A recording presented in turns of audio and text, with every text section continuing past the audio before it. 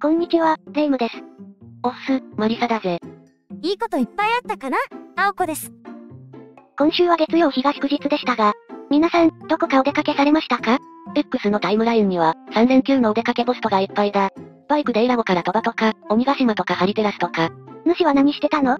赤人の1段階目鳴らしを終わらせてきたぜ。次は600キロで 6000rpm 縛りだ。鳴らしもいいけど、新型情報もしっかりと配信してくださいね。もちろんだ。というわけで、今回のテーマはこちら。2024年2月、ホンダが最新技術で反撃、新型バイクニュースまとめ。それでは、青月電子台、今回もスタートです。では、ゆっくりしていってね。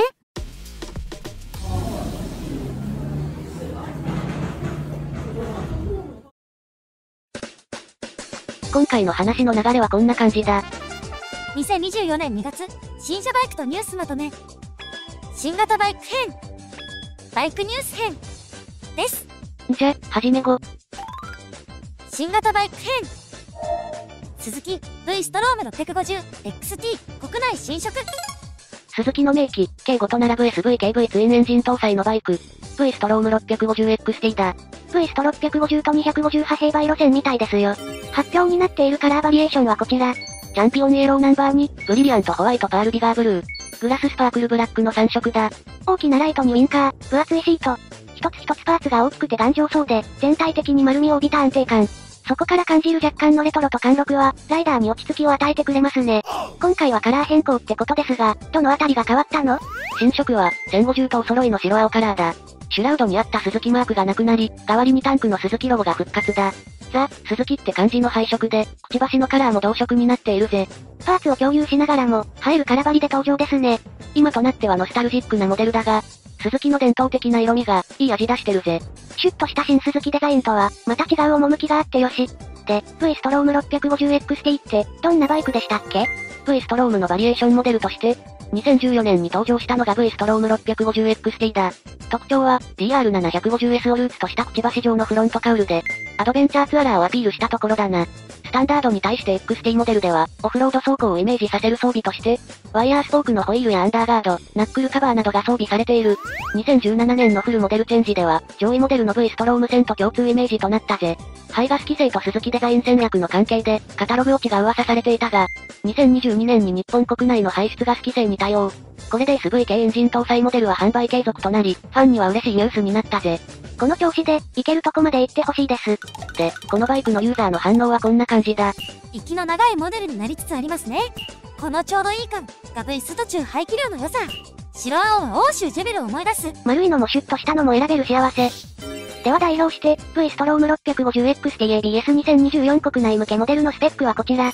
エンジンは V 型2気筒 645cc、最高出力は69馬力 8800rpm、最大トルクは 6.2kg メートル 6300rpm、シート高は 835mm、車両サイズは2275-910-405、重量は 215kg、ガソリン容量は20リットルで、燃費は 34kgWMTC、航続距離は 680km、ガソリン仕様はレギュラーだぜ。主要装備は ABS、トラコン、DC ソケット、可変スクリーン、キャリア、などだ。新車価格は100.1万円。グーバイクの中古車価格帯は、42万6700円92万円で34台だな。ヤマハ XMAX 海外新色。スクーター界の X は、顔面 X 感を MAX にアピール、XMAX だ。ちょっと何言ってるのかわからないよ。発表になっているカラーバリエーションはこちら。ラグジュアリーレッド、プレミアムブラック、プレステージグレー、マグマブラックテックマックスの4色だ。デザインは今風で装備も充実。フォルツァの良きライバルに新色登場ですね。今回の新色はマグマブラックだ。冷えた溶岩とはよく言ったもんだ。名前の付け方が中二風ですけど。それは、大自然の造形美をモチーフにした、XMAX ならではのカラーだからさ。おっと、その説明も謎だらけです。XMAX のかっこいいところといえば、ナックルガード風でウィンカーが埋め込まれた。新設計のスクリーンサポートだぜ。このデザイン、ホンダのフォルツァとよく似てますね。あちらはカビコン風だけどな。ちなみに国内向けフォルツァにない機能としては、スマホ接続と、ガーミン社製アプリ連携でメーターにナビ表示が可能なところだ。最近だとトレイサー 9GT プラスにも搭載された、サブスク型ナビサービス機能ですね。スマホにガーミンのガーミンストリートクロスをインストールして、月額年額で課金すれば、マップ表示に到着予測時刻、目的地天候など、ツーリングをサポートする多彩な情報を表示できるってやつね。このシステム、こいつは使えるって記事はあまり見ないけど、実際はどうなんだろうな。ガーミンとか、マイスピンとか、使っている人教えて。あと、いろんなところに X の衣装が盛り込まれているので、隠れ X 的な要素が好きな人にはおすすめな一台だぜ。どんな人だそれ？で、XMAX って、どんなバイクでしたっけ？1990年代、ビクスク界の人気を二分していたスクーター、マジェスティ。その雰囲気を受け継ぐモデルが XMAX だ。2018年1月に国内新登場ですね。スポーティなルックスに、必要十分なパワーを発揮する単気筒 249cc エンジン、ブルーコアを搭載している。2023年10月には、スタイリングと灯火類の配置が変更されたな。スタイリッシュなデザインに注目しがちだが、実用機能も満載だ。45リットルのシート下トランクスペース。取り付けボルト位置変更による2段階に高さ変更が可能なスクリーン。主要情報を表示する液晶メーターとは別に、4.2インチカラーの別体液晶メーターを装備。さらに、上位モデルのテックマックスは、専用エンブレムやスペシャルシート装備だぜ。フォルツァと X マックス、どちらを選ぶかはあなた次第ね。で、このバイクのユーザーの反応はこんな感じだ。明るいカラー増やしてよ赤が継続っぽいのは歓迎ソープランドピンクも良いね皆さん、カラーリングに興味津々ですね。では、参考に XMAX250ABS2023 国内向けモデルのスペックはこちら。エンジンは単気筒 249cc、最高出力は23馬力 7000rpm、最大トルクは 2.4kgm/5500rpm。シート高は 795mm、車両サイズは2180-795410。重量は 181kg。ガソリン容量は13リットルで、燃費は 33.8kg WMTC。航続距離は 439.4km。ガソリン仕様はレグラーだぜ。主要装備は ABS、トラコン、シート化収納、キーレス、スマホ接続、センタースタンドなどだ。新車価格は71.5万円。グーバイクの中古車価格帯は、33万円63万8000円で88台だな。ヤマハ、FG、X、海外新色。150cc の国内導入を始めたヤマハだが、このバイクに声は届かず、FZX だ。地元のバイク館で CB190X と共によく見かけるやつね。発表になっているカラーバリエーションはこちら。マットタイタン、クローム、ダークマットブルー、メタリックブラック、マットカッパーの5色だ。なんか、鈴木風やホンダ風のカラーリングですね。ま、ネイキッドモデルだし、カラーリングがダブるのは仕方ないな。で、今回の一押しカラーはクロームだぜ。女子ライダーが鏡代わりに使うと噂の。この価格帯で、タンク丸ごとメッキってのはあまり見ないよな。擦り傷がつかないように、優しく扱ってくださいね。で、FZX って、どんなバイクでしたっけ ?2021 年にインド市場で登場した、ネオレトロスタイルのスポーツモデル。それが FZX だ。FZ シリーズは2モデル存在していて、FZX はおなじみの丸目スタイル、FZS はストファイ系デザインだ。この小型ヘッドライト、まさに XSR シリーズって感じですね。XSR250 と言っても違和感なし。特徴的な装備としては、ネイキッドだけどアンダーカバーが取り付けられてたり、ヘッドライトは LED 灯でデイタイムランニングライト装備、液晶式メーターとスマートフォン連動機能も備わってる。また、オプションも豊富で、座面に段差があるタックロールシートを装備すれば、バイクの雰囲気もガラッと変えられるぜ。残念念ながら、正規国内モデルの取り扱いはないんですよね。遠くのヤマハディーラーより、近くのバイク館だよ。お店選びはしっかりとね。で、このバイクのユーザーの反応はこんな感じだ。夏めっちゃ暑くなりそうクロームは流れる風景とか映って綺麗だな物珍しいがタンクの指紋汚れが心配ではある。皆さんやっぱりクロームタンクが気になるようですね。では、FZX2021 海外向けモデルのスペックはこちら。エンジンは単気筒 149cc、最高出力は12馬力 7250rpm、最大トルクは 1.4kgm/5500rpm、シート高は 810mm、車両サイズは2020-785-1115、重量は 139kg。ガソリン容量は10リットルで、燃費、航続距離、ガソリン使用は不明だぜ。主要装備は ABS、LCD メーター、前後 LED ランプなどだ。新車価格は13万7200円ドル P 実売24万円。グーバイクの中古車価格帯は19万8000円21万8000円で2台だな。KTM RC390 元 GP マシンのスタイリングをまとう KTM の RC シリーズ、RC390-125 だ。新世代 RC シリーズの新色はいかに？発表になっているカラーバリエーションはこちら。390、125ともにオレンジブラック、オレンジブルーの2色だ。2024モデルも安定の KTM カラーでしたね。ネイキッドのデュークに比べるとカウル面積が多い分、すっきりしてますね。でも確実に見バレするカラー。ちなみに、RC シリーズの390と125の違いって？エンジンとグラフィックだな。フレームや装備は共通だ。排気量が約3倍ですが、それで大丈夫なのかな？共通プラットフォーム化が進む昨今では問題なしだな。ホンダの CL250 と500、川崎の ZX25R と ZX4R とかと同じだ。きっと、車体側の方にマージンがあるんだろうな。8キロ重くてパワーは3倍、そして約20万円差。車検の有無と、お財布事情で選ぶことになりそうですね。個人的には、125のオレンジブルーに乗ってみたいな。で、RC390 って、どんなバイクでしたっけ？?2014 年にデビューした RC390 は、373.2cc の水冷単気筒エンジンを搭載したレースコンペティション RC マシンだ。先進技術にレーシングマシンのデザイン、優れたハンドリングなど、レーストラック由来の設計思想で作られたモデルだな。2022年のモデルチェンジでは、パワーデリバリーの効率化のため、エアボックス容量拡大、電スロ、トラコンを採用。また、フェアリングのデザイン変更に合わせ、燃料タンク容量も9.5リットルから13.7リットルへ増加。ハンドルバーの高さ調整可能 10mm など、使い勝手も向上しているぜ。KTM の元 GP マシンは、市販車と同じ交換トレリスフレームを採用していて、レース車との結びつきに強いこだわりを感じるぜ。2025モデルでモデルチェンジするとの噂なので、さらなる性能アップに期待です。で、このバイクのユーザーの反応はこんな感じだ。相変わらず一味違うセンスだ。意地でもオレンジを入れるという強固な意志を感じる。目立つ色が多くていいな KTM のオレンジは生ラメン濃い。では、RC390-2024 海外メーカーモデルのスペックはこちら。エンジンは短気筒 373.2cc、最高出力は44馬力 9000rpm、最大トルクは kgm 7000rpm、シート高は 824mm、車両サイズは不明、重量は 155kg、ガソリン容量は13.7リットルで、燃費、航続距離は不明、ガソリン仕様は廃屋だぜ。主要装備は ABS、トラコン、スリッパークラッチ、クイックシフター、などだ。新車価格は不明。グーバイクの中古車価格帯は、27万5千円72万円で22台だな。V7 ストーン10、スペシャルエディション、海外新型。空冷縦置き90度 V ツインエンジンという希少価値。一頭は乗りたい、V7 ストーンだ。なっちゃん平島夏美さんが乗ってたやつ。惜しい。それは V7 レーサーの方だ。発表になっているカラーバリエーションはこちら。スペシャルカラーの一色だ。差し色の赤とチェッカー模様だなんて。これは惚れる、さすがイタリアですね。このデザインは、モト・グッツィの公式コミュニティモト・グッツィザクランの、創立10周年記念モデルとして登場したぜ。あ、このロゴね。で、V7 ストーン10は、スペシャルエディションがベースになった特別モデルだな。どこが違うの？V7 ストーンに、アロー製エキゾースト、バーエンドミラーや赤いショックスプリング、液晶メーターが装備されたのがスペシャルエディション。さらに専用カラーリングと、ホイールにモト・グッツィロゴが施されたのが、V7 ストーン10だな。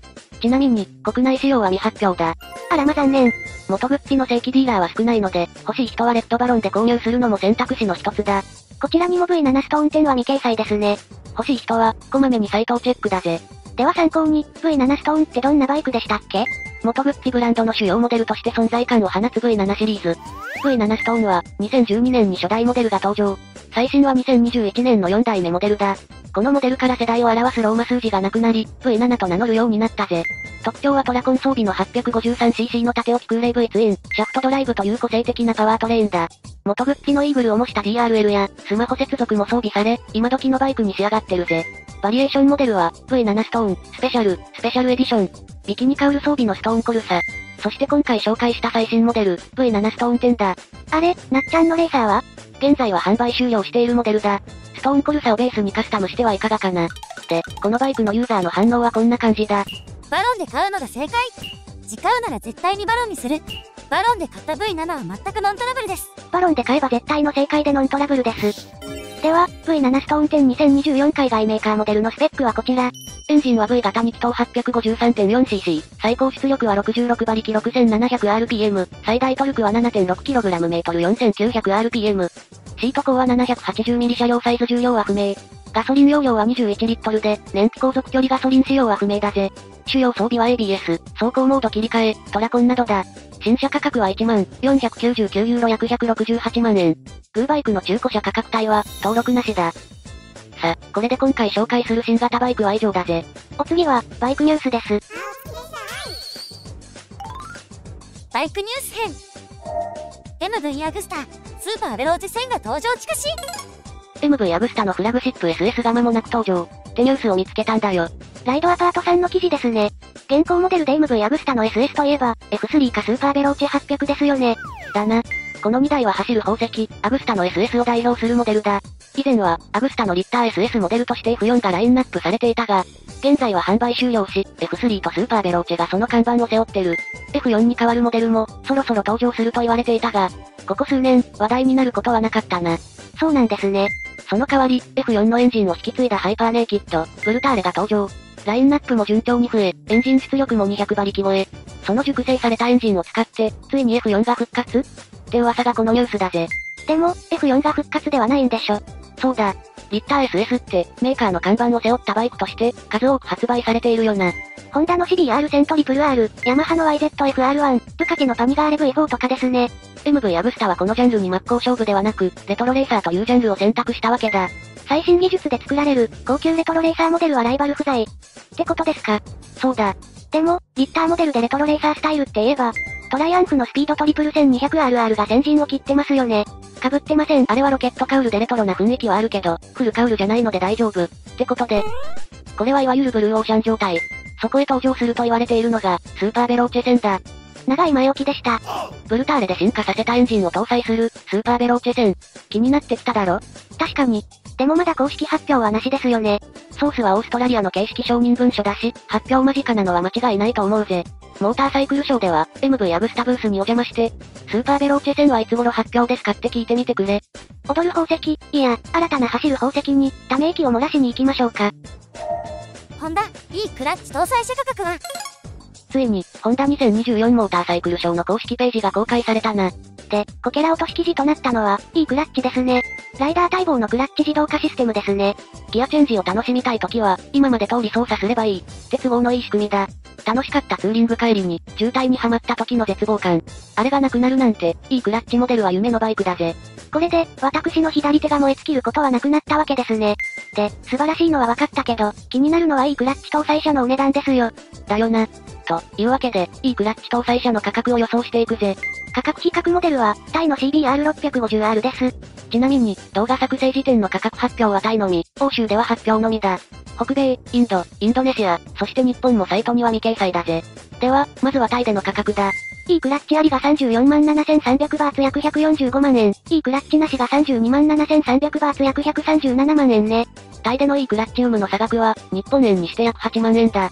現行国内モデルは、107.8万円からなので、車体本体価格を据え置きとして予想すると、いいクラッチ搭載 CBR650R 価格は、115.8万円ってところだな。価格改定での値上げはありそうですか？最近のホンダ価格改定を調べたところ、レブルは価格据え置き、クロス株も据え置きだ。CBR600WR も価格据え置きで、さらにクイックシフター標準装備。NT1100 は、1.1万円の値上げだな。据え置き多数。値上げ幅を約1万円として加味すると、いいクラッチ搭載 CBR650R の価格は、116.8万円ですね。ちなみに、ライバルの川崎忍者650は、104.5万円で12.3万円差な。ちょっとお高い？忍者650は、3年間の定期点検とオイル交換がセットになった川崎ケアモデルだ。購入後のお財布負担は、こちらのが軽いな。でもさ、川崎が同様のシステムを搭載すれば価格アップするはずだし、それほど開きがあるわけじゃないね。120万円を上限として考えればいい感じだ。現在の 650cc クラス価格帯は、100、110万円台だとすると、80万円台のヤマハ MT-07 や、鈴木 SV650 の価格は、かなり魅力的ですね。バイクのどこに価値を見出すか。それがバイク選びの選択肢だな。モタサイで試乗車を準備してくれないかな？ホンダの横風アシスト、及び車線警報システム。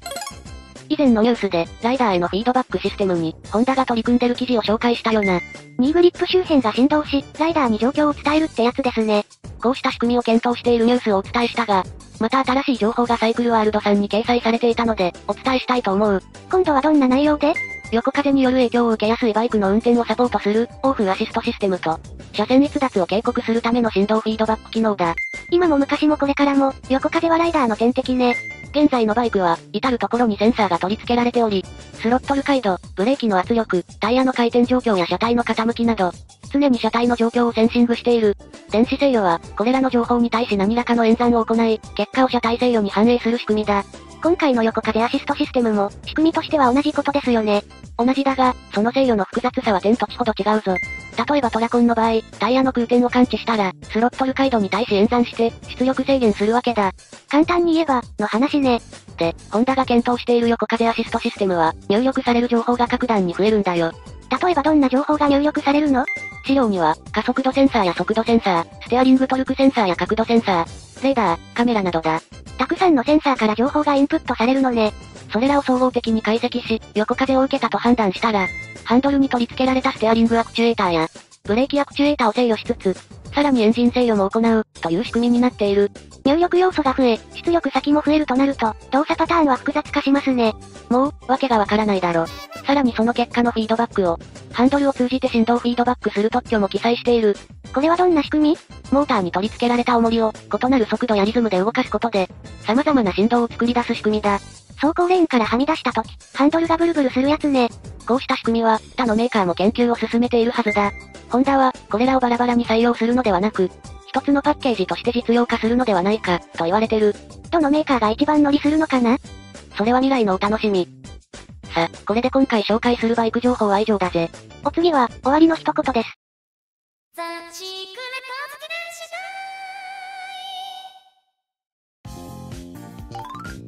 終わりの一言。川崎の忍者購入キャンペーンで、クーポン券をいただきまして、それで購入したウィンタージャケットが、最高に暖かいんですよ。どこのジャケット？串谷のウィンターメニタジャケットな。川崎ロゴ入りですね。これも青色なので、赤人で青ジャケなら、ほぼ間違いなく青付きですね。どこかで遭遇することがあれば、主をよろしくお願いいたします。それでは、次回の動画まで。1、2、3、バッバハイはい。